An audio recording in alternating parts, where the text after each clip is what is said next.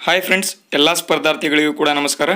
Indian navy ಇಲಾಖೆಯಿಂದ ಅಂದರೆ Indian navy ಭಾರತೀಯ ವಾಯುಪಡೆಯಿಂದ ಜಾಬ್ ನೋಟಿಫಿಕೇಶನ್ ಬಂದಿರುವಂಥದ್ದು ಇಲ್ಲಿ ಟೋಟಲ್ ಎರಡು ಸಾವಿರದ ಐದುನೂರಕ್ಕೂ ಅಧಿಕ ಹುದ್ದೆಗಳು ಇಲ್ಲಿ ಇರುವಂಥದ್ದು ಇದಕ್ಕೆ ಯಾರ್ಯಾರು ಅರ್ಜಿ ಸಲ್ಲಿಸಬಹುದು ಅಂತ ಅರ್ಹತೆಯನ್ನು ನೋಡೋದಾದ್ರೆ ಇಲ್ಲಿ ಇವರಿಗೆ ಪಿ ಯು ಸಿ ಆಗಿರುವಂಥ ಒಂದು ಅಭ್ಯರ್ಥಿಗಳು ಇಲ್ಲಿ ಅರ್ಜಿಯನ್ನು ಸಲ್ಲಿಸಬಹುದು.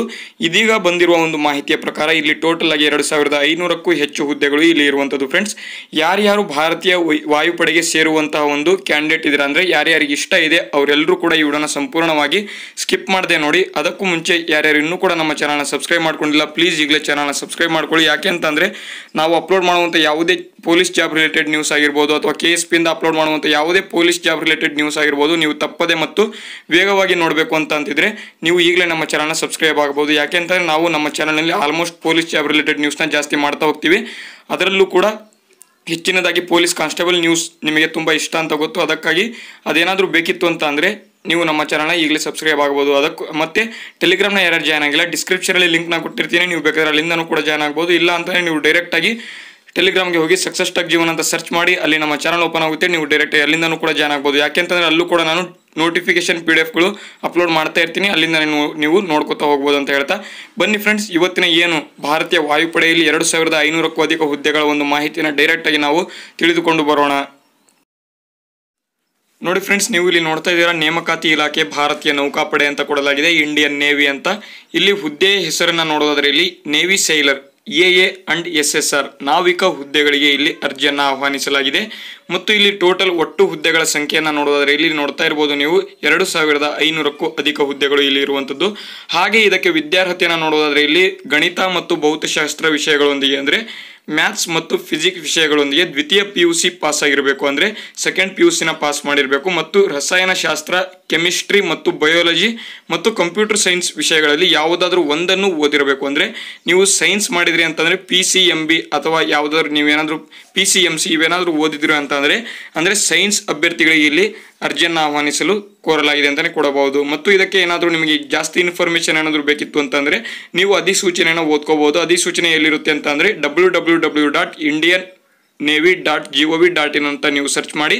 ನೀವು ಬೇಕಾದರೆ ಅಲ್ಲಿಂದ ನೀವು ಓದ್ಕೋಬೋದು ಅಂತ ಕೊಡಲಾಗಿದೆ ಫ್ರೆಂಡ್ಸ್ ಮತ್ತು ಇಲ್ಲಿ ದೇಹದಾಢ್ಯತೆ ಅಂದರೆ ನಿಮಗೆ ಫಿಸಿಕಲ್ ಎಕ್ಸಾಮ್ ಹೇಗೆ ನಡೆಸ್ತಾರೆ ಮತ್ತು ಇದಕ್ಕೆ ಏನೇನು ಕ್ವಾಲಿಫಿಕೇಷನ್ ಬೇಕು ಎಲಿಜಿಬಿಲಿಟಿ ಏನೇನು ಕ್ರೈಟೀರಿಯಾ ಏನೇನಿದಾವೆ ಅಂತ ನೋಡೋದಾದ್ರೆ ಇಲ್ಲಿ ಎತ್ತರ ಕನಿಷ್ಠ ಅಂತಂದ್ರೆ ನೂರ ಐವತ್ತೇಳು ಸೆಂಟಿಮೀಟರ್ ಇಲ್ಲಿ ಎತ್ತರ ಇರಬೇಕು. ನೆಕ್ಸ್ಟು ಎದೆ ಕನಿಷ್ಠ ಐದು ಸೆಂಟಿಮೀಟರ್ ವಿಸ್ತರಣೆ ಇರಬೇಕು. ಅಂದರೆ ನಿಮ್ಮ ಚೆಸ್ಟ್ ಏನಿರುತ್ತೆ ಐದು ಸೆಂಟಿಮೀಟರ್ ವಿಸ್ತರಣೆ ಆದಾಗ ಐದು ಸೆಂಟಿಮೀಟರ್ ಇರಬೇಕು ಮತ್ತು ಕನಿಷ್ಠ ಎತ್ತರ ನೂರ ಐವತ್ತೇಳು ಸೆಂಟಿಮೀಟರ್ ಇಲ್ಲಿ ಕೊಡಲಾಗಿದೆ ಮತ್ತು ಸೂಚನೆಯನ್ನು ಕೊಡಲಾಗಿದೆ ನೋಡ್ತಾ ಇರ್ಬೋದು ಫ್ರೆಂಡ್ಸ್ ಇಲ್ಲಿ ಅವಿವಾಹಿತ ಪುರುಷ ಅಭ್ಯರ್ಥಿಗಳು ಮಾತ್ರ ಅರ್ಜಿ ಸಲ್ಲಿಸಬಹುದಾಗಿದೆ. ಅಂದರೆ ಯಾರ್ಯಾರು ಮದುವೆ ಆಗದೇ ಇರುವಂಥ ಒಂದು ಅಭ್ಯರ್ಥಿಗಳು ಯಾರ್ಯಾರಿದ್ದಾರೆ, ಅವರು ಮಾತ್ರ ಅರ್ಜಿಯನ್ನು ಸಲ್ಲಿಸಬಹುದಾಗಿದೆ ಅಂತ ಕೊಡಲಾಗಿದೆ ಫ್ರೆಂಡ್ಸ್ ಮತ್ತು ಇಲ್ಲಿ ವಯಸ್ಸಿನ ಮಿತಿಯನ್ನು ನೋಡೋದಾದ್ರೆ ಇಲ್ಲಿ ನೋಡ್ತಾ ಇರ್ಬೋದು ಅಭ್ಯರ್ಥಿ ಒಂದು ಫೆಬ್ರವರಿ ಎರಡು ಸಾವಿರದ ಒಂದರಿಂದ ಮೂವತ್ತೊಂದು ಜುಲೈ ಎರಡು ಸಾವಿರದ ನಾಲ್ಕರ ನಡುವೆ ಜನಿಸಿರಬೇಕು ಅಂದ್ರೆ ಅಂದರೆ ನಿಮಗೆ ಏನು ಒಂದು ಫೆಬ್ರವರಿ ಎರಡು ಸಾವಿರದ ಒಂದರ ನಂತರ ಯಾರು ಜನಿಸಿದಿರ ಅವರು ಮತ್ತು ಮೂವತ್ತೊಂದು ಜುಲೈ ಎರಡು ಸಾವಿರದ ನಾಲ್ಕರ ಒಳಗೆ ಯಾರು ಜನಿಸಿದರೆ ಎಲ್ಲರೂ ಕೂಡ ಇದಕ್ಕೆ ಅರ್ಜಿಯನ್ನು ಹಾಕಬಹುದು ಅಂತ ಕೊಡಲಾಗಿದೆ ಫ್ರೆಂಡ್ಸ್ ಮತ್ತು ಇಲ್ಲಿ ಅರ್ಜಿ ಶುಲ್ಕವನ್ನು ನೋಡೋದಾದ್ರೆ, ಇಲ್ಲಿ ನೋಡ್ತಾ ಇರ್ಬೋದು ನೀವು,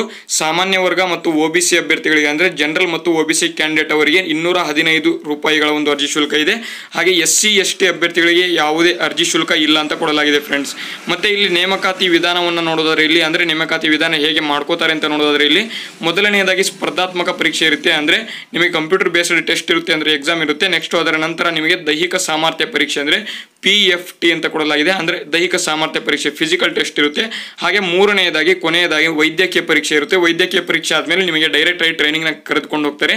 ನೀವು ಡೈರೆಕ್ಟ್ ಆಗಿ ಅಲ್ಲಿಂದ ಜಾಬ್ ಮಾಡ್ಬೋದು ಅಂತ ಕೊಡಲಾಗಿದೆ. ಹಾಗಾದರೆ ಇಲ್ಲಿ ಅರ್ಜಿ ಸಲ್ಲಿಸುವ ವಿಧಾನ ಹೇಗೆ ಅಂತ ನೋಡೋದಾದ್ರೆ ಇಲ್ಲಿ ವೆಬ್ಸೈಟ್ ಮೂಲಕ ನೀವು ಅರ್ಜಿಯನ್ನು ಸಲ್ಲಿಸಬಹುದು. ಆನ್ಲೈನ್ ಮೂಲಕ ಇಲ್ಲಿ ಅರ್ಜಿಯನ್ನು ಸಲ್ಲಿಸಬಹುದು. ಹಾಗಾದರೆ ಆ ವೆಬ್ಸೈಟ್ ಯಾವುದು ಅಂತ ನೋಡೋದಾದ್ರೆ ಇಲ್ಲಿ W Indian navy dot G O V dot ಇನ್ಗೆ ನೀವು ಅರ್ಜಿಯನ್ನು ಅಲ್ಲಿ ಭೇಟಿ ನೀಡಿ, ಅಂದರೆ ಆ ವೆಬ್ಸೈಟ್ಗೆ ಭೇಟಿ ನೀಡಿ ನೀವು ಅರ್ಜಿಯನ್ನು ಸಲ್ಲಿಸಬಹುದಾಗಿದೆ. ಮತ್ತು ಅರ್ಜಿ ಸಲ್ಲಿಸಲು ಪ್ರಾರಂಭದ ದಿನಾಂಕ ನೋಡೋದಾದ್ರೆ ಇಲ್ಲಿ ಇಪ್ಪತ್ತಾರು ನಾಲ್ಕು ಎರಡು ಸಾವಿರದ ಇಪ್ಪತ್ತೊಂದು, ಅಂದರೆ ಇವತ್ತು ಇಪ್ಪತ್ತೈದನೇ ತಾರೀಕು, ನಾಳೆ ಇಪ್ಪತ್ತಾರನೇ ತಾರೀಕಿನಿಂದ ಇದು ಅರ್ಜಿ ಶುಲ್ಕ, ಅರ್ಜಿ ಸಲ್ಲಿಸಲು ಪ್ರಾರಂಭ ದಿನಾಂಕ ಆಗುತ್ತೆ ಅಂತಲೇ ಹೇಳ್ಬೋದು ಫ್ರೆಂಡ್ಸ್ ಇಪ್ಪತ್ತಾರರಿಂದ ನೀವು ಅರ್ಜಿಯನ್ನು ಸಲ್ಲಿಸಲು ಕೋರಲಾಗಿದೆ. ಮತ್ತು ಅರ್ಜಿ ಸಲ್ಲಿಸಲು ಕೊನೆಯ ದಿನಾಂಕನ ನೋಡೋದಾದ್ರೆ ಇಲ್ಲಿ ಮೂವತ್ತು ನಾಲ್ಕು ಎರಡು ಸಾವಿರದ ಇಪ್ಪತ್ತೊಂದು, ಅಂದರೆ ಆರರಿಂದ ಅಂದರೆ ನಾಲ್ಕರಿಂದ ಐದು ದಿನ ಮಾತ್ರ ಇಲ್ಲಿ ಅರ್ಜಿ ಸಲ್ಲಿಸಲು ನಿಮಗೆ ಡೇಟ್ನ ಕೊಟ್ಟಿರುವಂಥದ್ದು. ಅದರ ಒಳಗೆ ಯಾರ್ಯಾರು ಅಭ್ಯರ್ಥಿಗಳು ನೀವು ಇದ್ರೆ ಎಲ್ಲರೂ ಕೂಡ ಅರ್ಜಿನ ಸಲ್ಲಿಸಿ ಅಂತ ಹೇಳ್ತಾ, ಇವತ್ತಿನ ವಿಡಿಯೋದಲ್ಲಿ ನಿಮಗೆ ತುಂಬ ಹೆಲ್ಪ್ಫುಲ್ ಆಗುವಂಥ ಒಂದು ಮಾಹಿತಿನ ಕೊಟ್ಟಿದ್ದೇನೆ ಅಂತ ಅಂದ್ಕೊಂಡಿದ್ದೀನಿ ಅಂದರೆ ಆಲ್ಮೋಸ್ಟ್ ಎಲ್ಲ ನಿಮಗೆ ಬೇಕಾದಂಥ ಮಾಹಿತಿ ನಾನು ನಮ್ಮ ಚಾನಲಲ್ಲಿ ಕೊಡ್ತಾ ಹೋಗಿದ್ದೀನಿ ಅಂತ ಅನ್ಕೊಂಡಿದ್ದೀನಿ. ನಮ್ಮ ಈ ಪ್ರಯತ್ನ ನಿಮಗೆ ಇಷ್ಟವಾದಲ್ಲಿ ವಿಡಿಯೋಗೆ ಒಂದು ಲೈಕ್ನ ಮಾಡಿ ಪ್ಲೀಸ್ ಯಾರು ಇನ್ನೂ ಕೂಡ ನಮ್ಮ ಚಾನಲ್ನ ಸಬ್ಸ್ಕ್ರೈಬ್ ಮಾಡ್ಕೊಂಡಿಲ್ಲ ಪ್ಲೀಸ್ ಚಾನಲ್ನ ಸಬ್ಸ್ಕ್ರೈಬ್ ಮಾಡ್ಕೊಳ್ಳಿ. ಯಾಕೆ ಅಂತಂದರೆ ನಾವು ಅಪ್ಲೋಡ್ ಮಾಡುವಂಥ ಯಾವುದೇ ಜಾಬ್ ರಿಲೇಟೆಡ್ ವಿಡಿಯೋಗಳು ನೀವು ತಪ್ಪದೆ ಮತ್ತು ವೇಗವಾಗಿ ನೋಡಬೇಕು ಅಂತಂದರೆ ನೀವು ನಮ್ಮ ಚಾನಲ್ನ ಸಬ್ಸ್ಕ್ರೈಬ್ ಆದ್ರಿ ಅಂತಂದರೆ ನಮ್ಮ ಚಾನಲ್ನ ಒಂದು ವಿಡಿಯೋಗಳು ನಿಮಗೆ ಬರ್ತಾ ಇರುತ್ತೆ. ಅದಕ್ಕಾಗಿ ನೀವು ಚಾನಲ್ನ ಸಬ್ಸ್ಕ್ರೈಬ್ ಆಗಿ ಮತ್ತು ಲೈಕ್ನ ಮಾಡದೆ ಹೋಗಬೇಡಿ ಫ್ರೆಂಡ್ಸ್ ಎಲ್ಲರೂ ಕೂಡ ಲೈಕ್ ಮಾಡಿ. ಯಾಕೆ ಅಂತಂದರೆ ನಿಮ್ಮ ಲೈಕ್ ನಮಗೆ ಮೋಟಿವೇಟ್ ಆಗುವ ಹಾಗೆ ಆಗುತ್ತೆ. ಯಾಕೆ ಅಂತಂದರೆ ನೀವು ಒಂದು ಲೈಕ್ ಮಾಡಿದಿರಿ ಅಂತಂದರೆ ನಮಗೆ ಇನ್ನೂ ಹೆಚ್ಚಿನ ವಿಡಿಯೋಗಳು ನಮ್ಮ ಚಾನಲಲ್ಲಿ ಮಾಡ್ತಾ ಹೋಗ್ತೀವಿ ಅಂತ ಹೇಳ್ತಾ ಇವತ್ತಿನ ವಿಡಿಯೋನ ಇಲ್ಲಿಗೆ ಮುಗಿಸ್ತಾ ಇದ್ದೀನಿ. ಜೈ ಹಿಂದ್, ವಂದೇ ಮಾತರಂ.